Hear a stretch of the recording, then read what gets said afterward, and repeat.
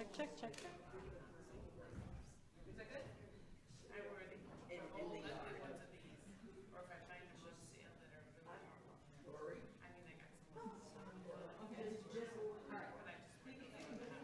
Yes, I just heard it said, so I'm letting you know. Thank you. Check, check, check. One, two, test. Check, one, two. It's all good? Pardon me? Oh, those ones?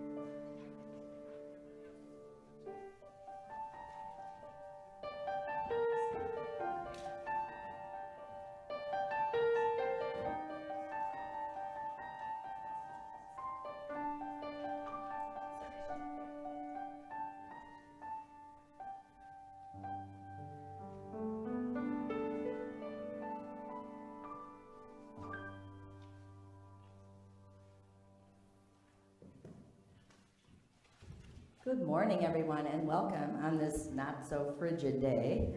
So, finally, um, I just have a few announcements before we get started. Um, next Sunday, February 12th, is Scout Sunday, and um, any scouts are invited to attend the service, obviously. Um, and there's this note says that we have like five scout troops. I feel like we have more than that, but I could be wrong. Um, so, but just next Sunday will be Scout Sunday. Um, also, um, last night, I don't know if anyone's ever gone, but we went to the, uh, the railroad club, the Boy Scout Railroad group. They had all the trains set up. So fun. I don't know if you've ever gone. It was kind of by accident that we went, but we had a blast, and the dinner was quite good, and I didn't have to cook it, so that was even better. Um, so I highly encourage you to, to do that next year if you haven't done it before. Um, next Sunday is our council meeting, but also the following Sunday, I'm just consider this week one of your um, notification. We have changed our congregational meeting, the month, the annual meeting, from the last month to next to the 20 to the 19th, whatever the the President's Day weekend Sunday. Sorry about that. Um, Pastor will be gone on. Is it the 18th? 19th. So it's not the 26th. It's the week before that. So this is week one of your notice, and then um, we'll, I'll let you know. I'll remind you again next week. So please plan on attending. Lots of interesting stuff to talk about at that meeting. Um, and uh, I think that's all I have. So welcome and enjoy the service. If you all saw in the Friday email um, that uh, Ryan has created a mural, um, we wanted to have it done for our first luncheon, but he, he's got a show this weekend, and actually he, um, it, he didn't finish it again. So, so it will be here next week. We'll premiere it next week. So I hope you come and see. Um, it's a it's a themed mural, so we can add to it as we grow and as we we, we change here at, at St. Paul's moving forward. Thank you. Good morning. It is great to see you here this morning. We gather to worship. We gather to be together. Now, of course, any one of us can worship all by ourselves somewhere, right? Take a walk. But there's something about being together that makes worship and mindfulness and awareness about God. There's something about being together that, that adds a layer to it that I don't think you can get all by yourself. And I don't think you can get just staying at home and watching it on TV. As important and as good as that is for, for folks, you know, it, it has served many, many people. But we are together. And in togetherness, we recreate, we re, reconstitute the body of Christ together by being together, by being sharing the gifts, sharing what we can bring. So, welcome to worship. I'm glad you're here. I hope that it is a time for, for you to feel nourished, fed in spirit, fed in heart. We're going to gather at the table and allow ourselves to remember what that means and why we do it and, and how it literally feeds us in spirit.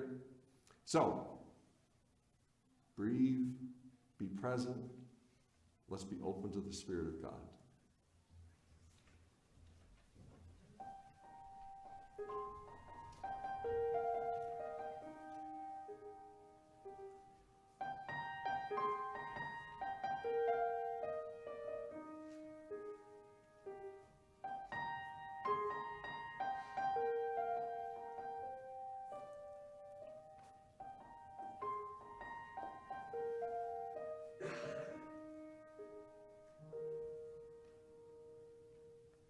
Let there be peace on earth, and let it begin with me. Let's pray. Oh God, you've come to us as the Prince of Peace. You've said, Blessed are the peacemakers. You've promised a peace that passes understanding. Let it catch fire within us, and let it shine forth from us. Amen.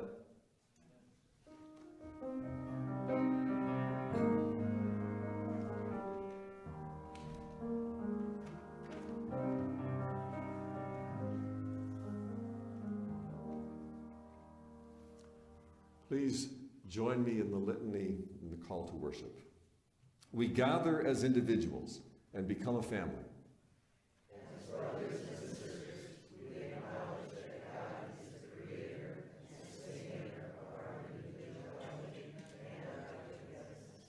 We gather as seekers and find that we are found. On the, I'm sorry, it, it, yeah, we gotta get that mixed up. Let's do it this way. I'll do the bold, you do the, um, okay?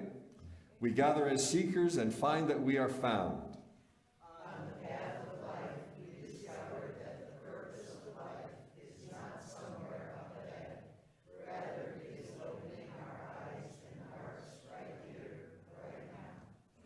We gather to speak of ineffable things, things that cannot be seen with the natural eyes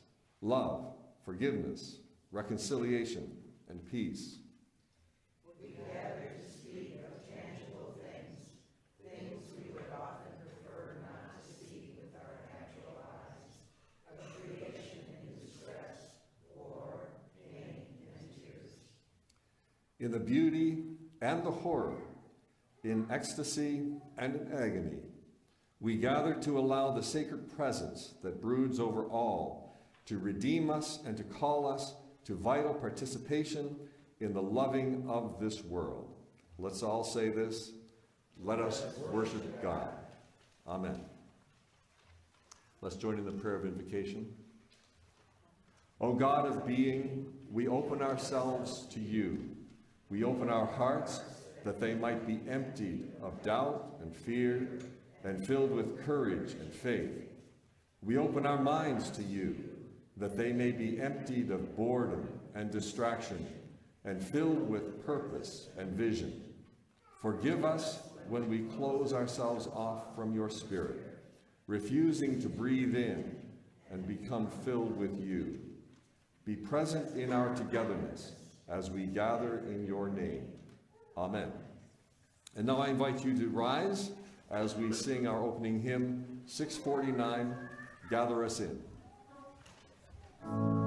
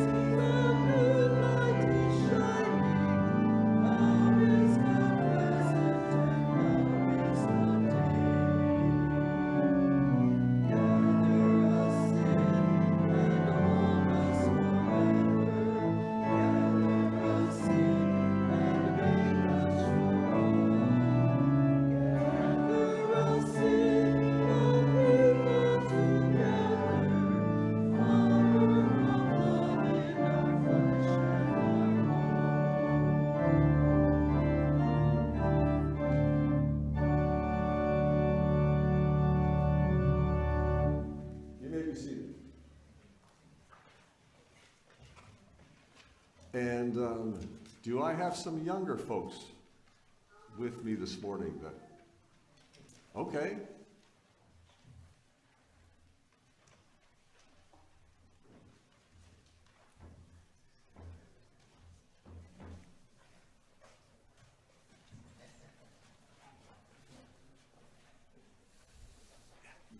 Sit right here. Come on, sit, sit over here. There we go. Good to see you. Good to see you. My name is Phil, and in the church here, they call me Pastor Phil because I'm the minister here. I'm, I'm the new guy. Hey, you. Hi. What's that belly? Do you know, when I see a belly like that, I just want to tickle it. what do you got there? What's your toy? What? What's that? Okay. Um, tell me your name. Rupert? Rupert? And what's your name? What's your name? He's still working on it. Okay. Okay. Well, it's good to see you. Um, it's good to meet you. And um, he, we're just, we come to a place like this. We come here and we're trying to figure out what it is to be alive, what it is to be in Downers Grove, what it is to be church, what it is to be healed, what it is to be, hey, excuse me, how old are you? How old are you? How's your brother? He's that much? You know, I can't even remember when I was that much. I can't remember. Um, how old are you? How much is that? Seven, you're right, seven. Now, here's the thing. I want to show you a couple things in the church this morning. I want to show you a couple things here that help us to understand what it means to be human and what it means to be part of a church. Okay? I want to show you. Um, come with me. Come with me. This is what we call the communion table. Okay? This is what we call the communion table. Our two year old has lots of energy.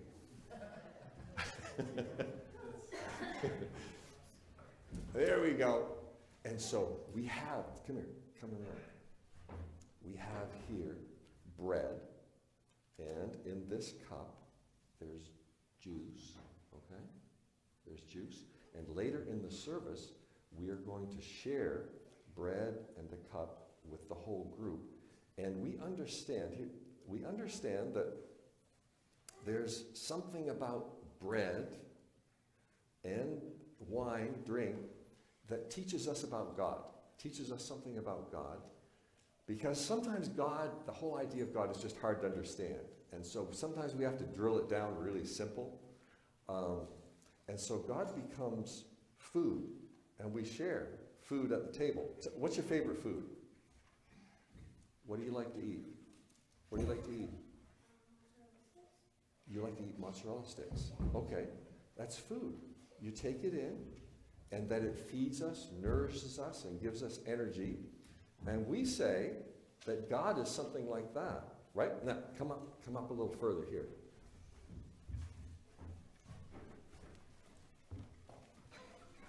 You see these? See these?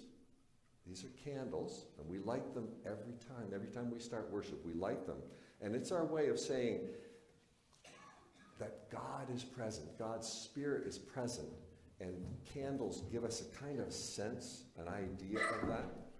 And then we have this, we, we share this idea that somehow you can be like a candle, you can give your light, and this guy, he's got a bright light too that's kind of harder to contain, but it's fun. And so here's what we're going to do we're going to sing a little song that helps us understand the lesson of the candles because the whole idea is we understand God as light, but then we can understand that we are light as well. And so there's a little song that I know you know it that helps us to share that, celebrate that, and tell that. And so let's us just go back here in front of the table, and Deb is going to play, and we're going to sing this little light of mine.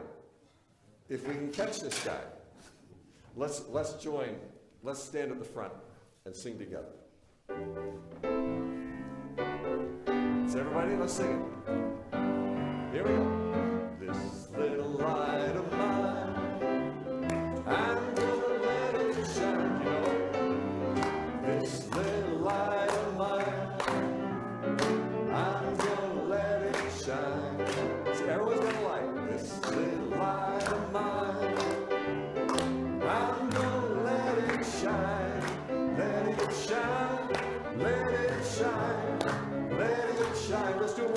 Just so we get it.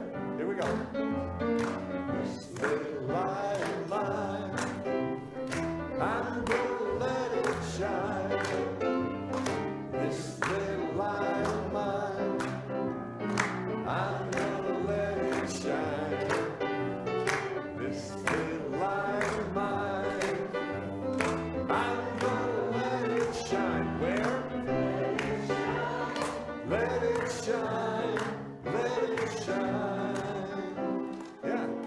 Got a light, and all God asks us to do is let it shine. Thank you. Thank you for spending a minute with me. Thank you, Deb.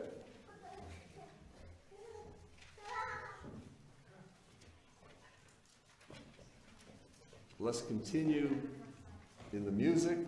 We're going to invite the choir to sing I Will Exalt You, O My Lord.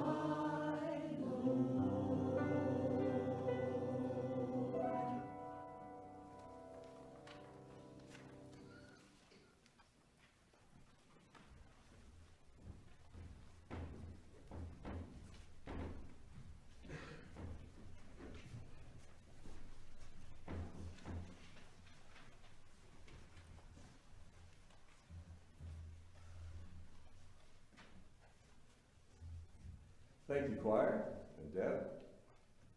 Our scripture reading this morning is from Matthew's Gospel. It's continuing on where we left off last week. Last week was the Beatitudes, blessed are, blessed are, blessed are. This is a continuation of that so-called Sermon on the Mount in Matthew.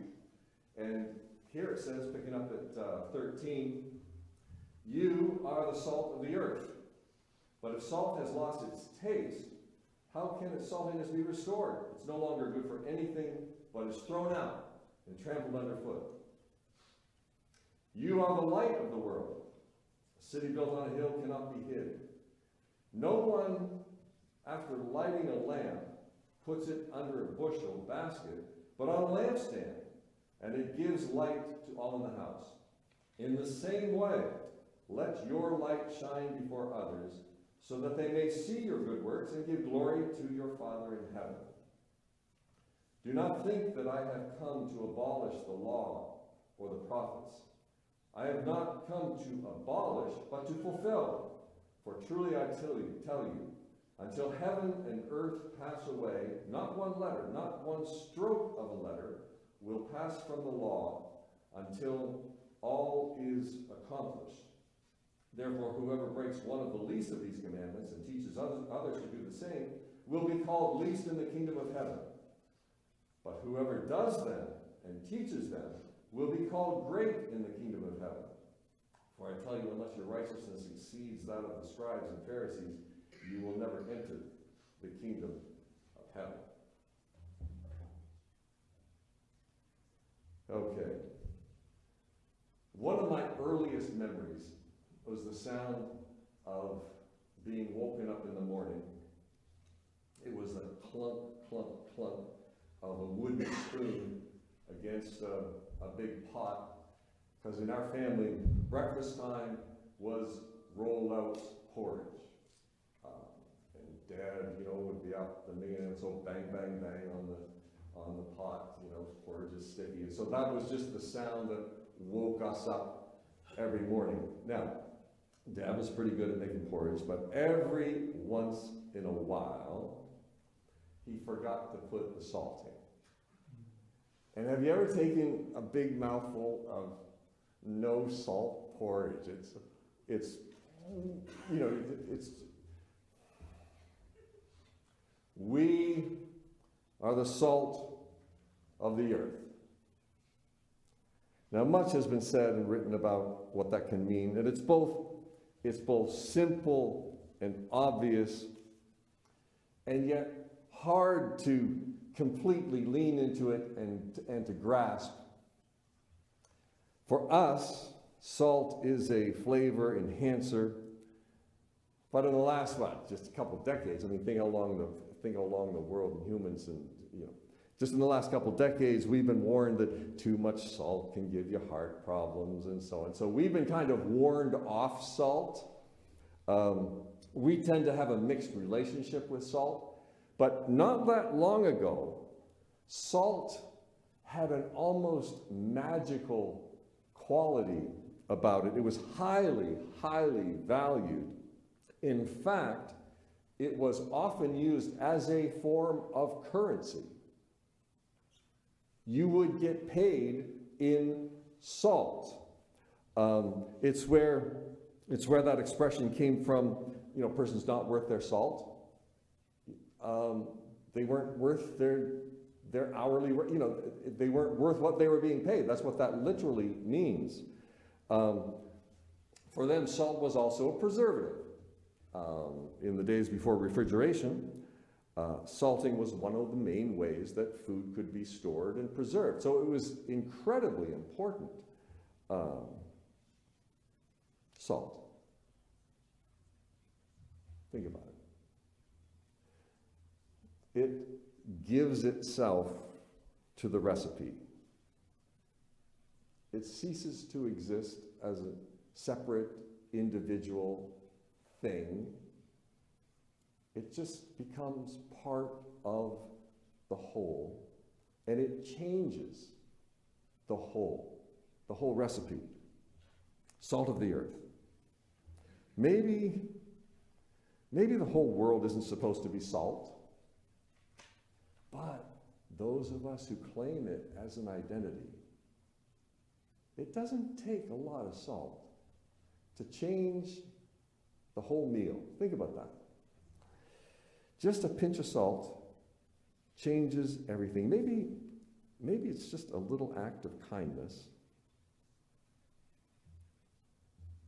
that can change someone's whole day, can, can change the world, literally. A while ago, Vicki and I, we both get home about the same time. And um, this is my wife, Vicki, by the way, in case you haven't met her. Um, and we both get home at the same time. You know, we're both tired, and you know, after a day's work, neither one of us had done anything to plan for dinner. You know, those those days, and uh, we're both hungry and tired, and don't feel like going out to the market. Don't feel like starting. You know, that whole deal. And so, of course, what do, we're just gonna bring in. You know, the takeout bring in, right? Has anyone else ever done that? Yeah, right, right. You just bring in. Okay. So we decide it'll be a local burger place for dinner. So I'm standing at uh, a little burger joint called Meatheads that was just up the street in Glen Ellyn, and I'm giving my order to this fresh-faced young guy. Um, couldn't have been more than about 16 years old, you know, a kid. Uh, so I make my order, give him my card. He slides it and then looks at his screen and then just kind of apologetically looks back at me and says politely, you know, you know, sir, your card has been declined. You know, there's some days you just don't want to hear that. You know what I mean? Um, that was one of those days. I take a deep breath, and you know, I'm sure I did something. I'm sure I did that. You know what? I, uh, could you please just try it again?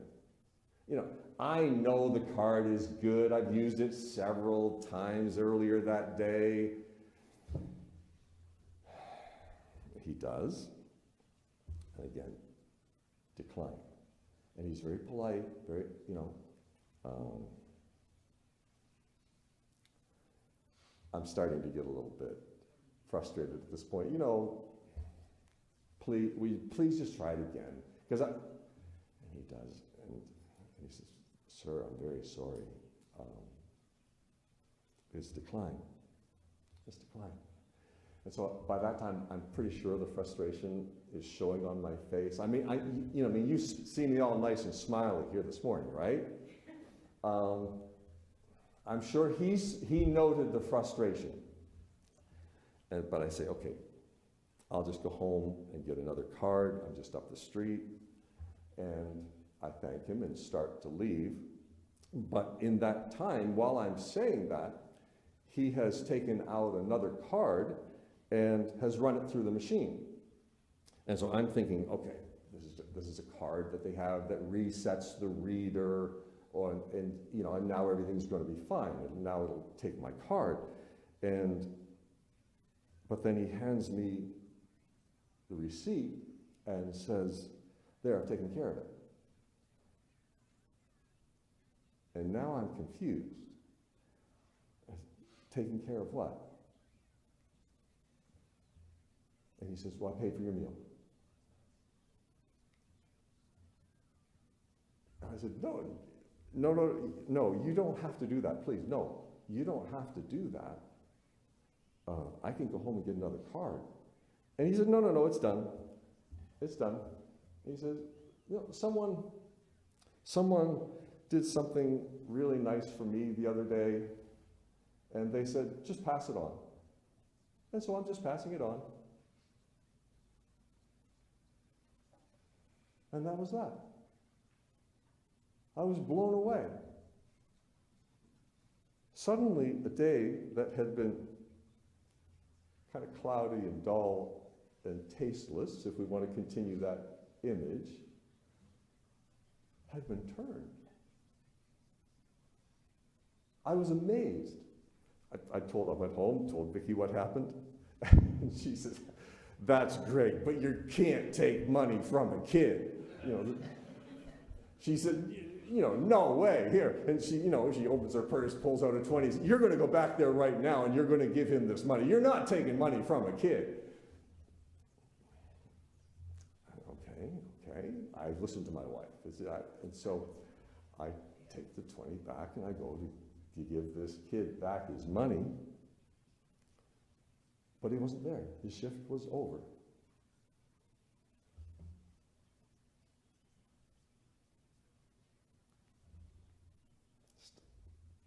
A little touch of kindness. I think that's what the scripture is talking about. And I think he taught me. He taught me. Because then I've taken that little bit of kindness, that thing, and have also passed it on. It turns out that the card had been compromised, you know.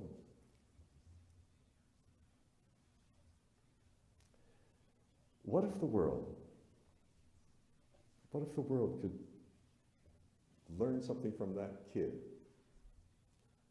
Just about looking for opportunities to put a little pinch of salt, a little flavoring into moments that just appear, that just appear all the time in our lives. I think the world can use a little flavoring right now. Little acts of mercy, little acts of kindness. You're the light of the world.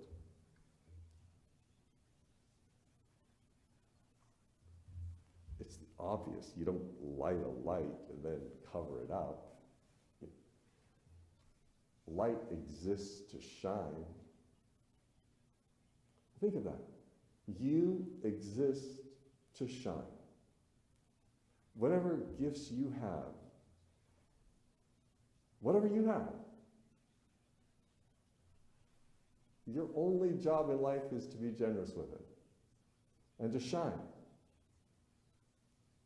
If you're a singer, sing. If you're a dancer, dance. If you're a if you're an accountant, count. You know, all the things, all of the gifts, all the things that we have to simply be generous. Be generous. To, to let the world, let, let God's kingdom have the advantage of you. That's what it is. We can shine. This church can shine. I'm excited about the service next week, um, the Boy Scouts thing. You know, Boy Scouts have a long and wonderful tradition. A lot of young lives, I think, are helped helped into their shining through that movement, through that thing. And we're going to celebrate that, celebrate those young guys and the people who lead them and that story. And this church shines by helping them to shine. And so come next week and encourage those young guys, encourage the leaders. Um, if any of you have been part of the scouting movement um, and you still have some of your memorabilia, bring it and show it and, and encourage them. Let's have it a time when we celebrate that little moment of shining. The leaders, the kids, this church's history and heritage in just launching that. It's one of the ways that we shine in this community. And so let's next week, let's just lean into it and and just celebrate it. Celebrate it. I want to close by um, lifting up someone who let their light shine and it changed the world. Um, this is Black History Month, as, as I'm sure you are aware. Um, and one of the, one of the shining lights uh, was Nelson Mandela, who uh, was imprisoned, who, you know, his own story is his own story. Um, just a couple quotes. I want to end with a couple of his quotes. And it fits very much in line with what we've been talking about. He said, there can be no greater gift than that of giving one's time and energy to help others without expecting anything in return.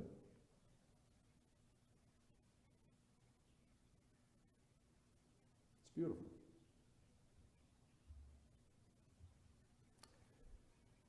What counts in life is not the mere fact that we have lived,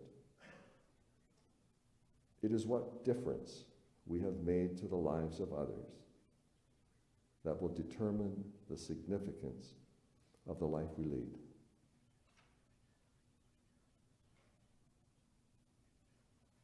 That's his shine. He made a difference, encouraging us to also shine. So many ways to get this truth. It's core. It's, it's core Christianity. Let's move to the table.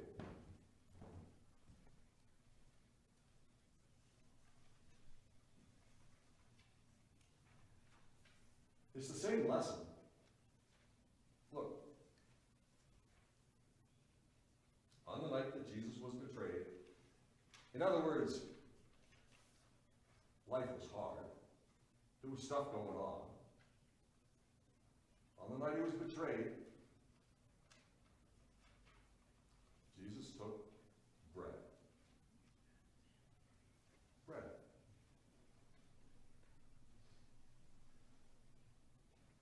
And he broke it.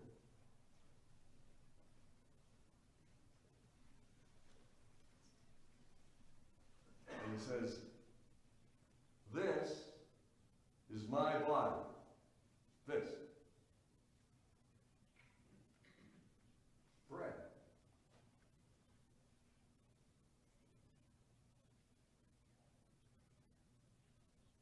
Bread. This is my body, broken for you.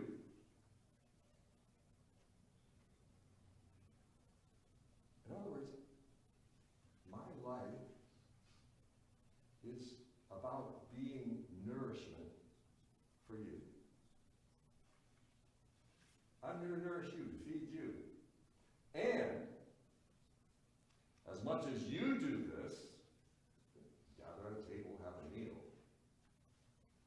do this of me.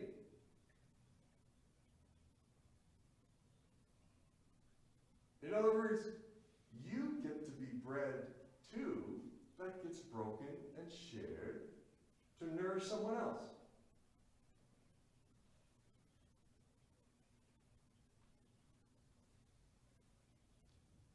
Let's share it.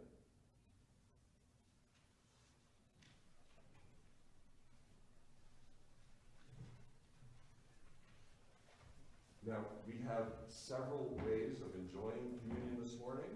We have it in the little, the wafer in the little thing. So we're going to pass that out if you would prefer to have it that way. Otherwise, we're going to pass out bread and then the wine. So it's up to you which one you want. Okay?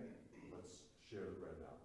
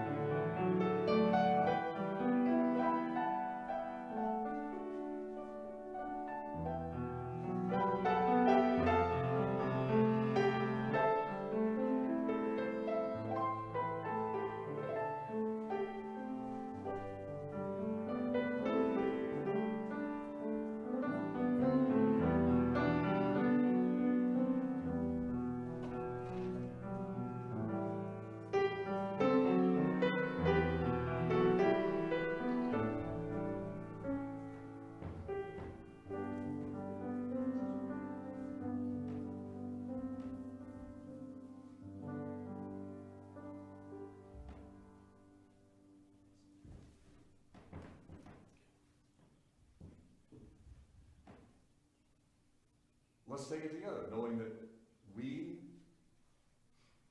feed on the life of Christ and that we get to be nourishment for others.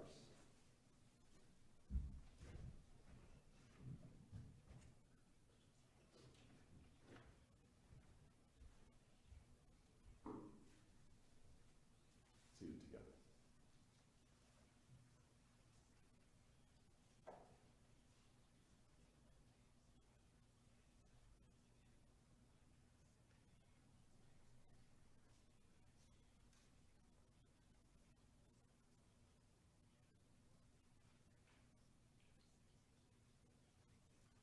In like manner after the, after supper, he took the cup.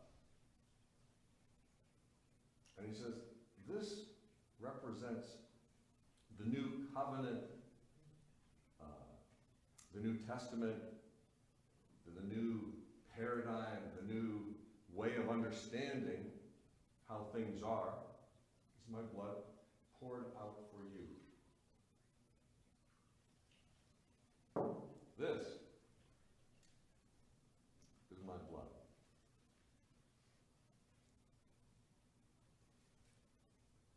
See, that world had kind of two places for blood. There was blood on the battlefield, and understanding that the winners were the glorious and that they were the vindicated by God, blood on the battlefield. And then there was the blood of sacrifice in the temple. Jesus, in this moment, doesn't lean into either one of those images of like this wine, drink, my blood, my life essence, my life, poured out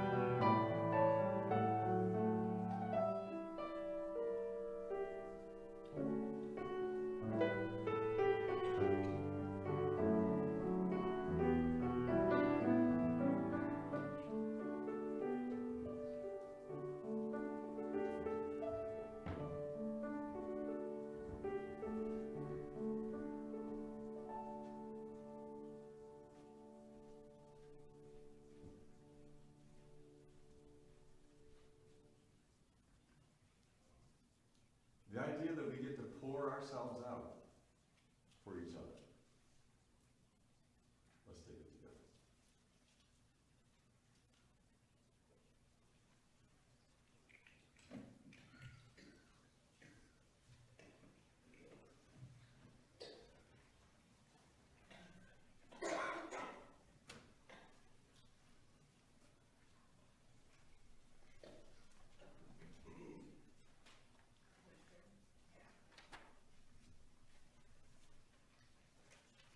Let's pray. O God, who is known to us in bread and wine, God calls us to be bread, nourishment, calls us to be poured out for each other, calls us to be salt and light. Fill us with your Spirit so that our lives truly reflect the truths that we hold. In Jesus' name, amen. Now we continue worship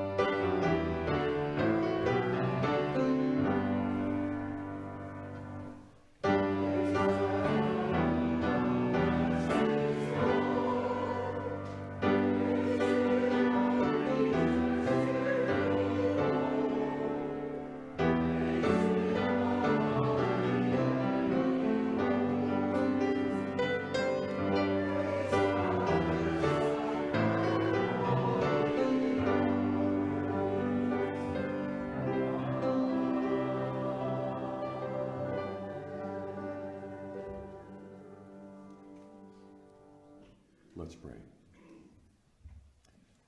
These gifts and the faithfulness that they represent is what makes our ministry possible. We ask God to bless our faithfulness and to extend the reach of love throughout the world. Amen. You may be seated.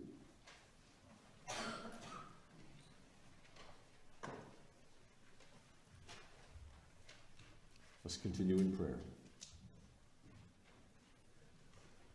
O God of the time of our lives, God who has given us breath, be in us and with us as we open ourselves to you.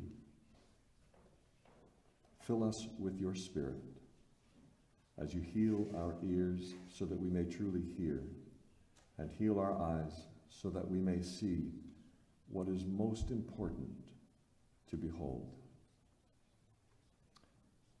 We ask for your blessing on Harold and Helen and Steve McVicker this morning.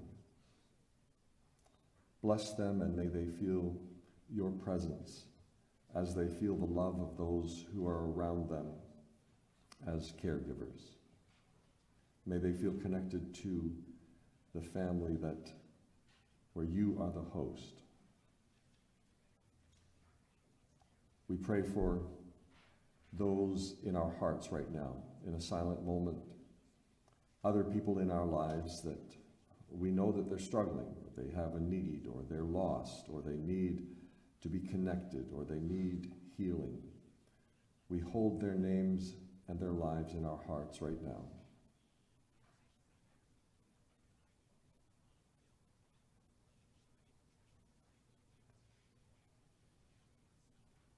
We pray for this church that it continues to be a place of blessing, a place of ministry, a place of service, a place of being salt of the earth, a place of being a light, that city on the hill that cannot be hidden. Fill us so that we overflow with joy. And now we pray the prayer that you taught the disciples, saying, Our Father, who art in heaven, hallowed be thy name. Thy kingdom come, thy will be done, on earth as it is in heaven. Give us this day our daily bread, and forgive us our sins, as we forgive our debtors. And lead us not into temptation, but deliver us from evil. For thine is the kingdom, and the power, and the glory forever. Amen. Now let's join in singing our final hymn, hymn number 14. Now thank we all our God.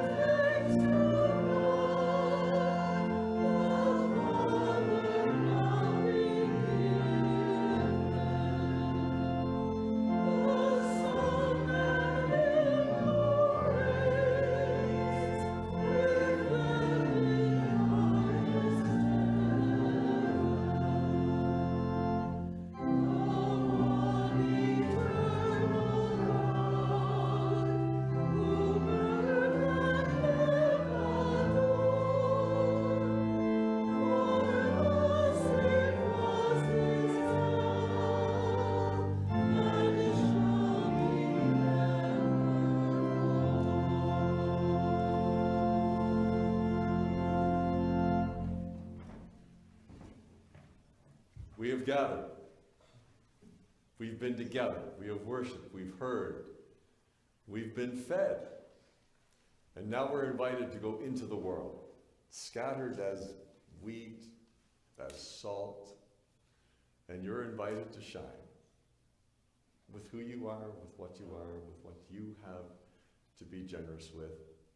And so go and shine, and the world will be changed. Amen. God be with you. Música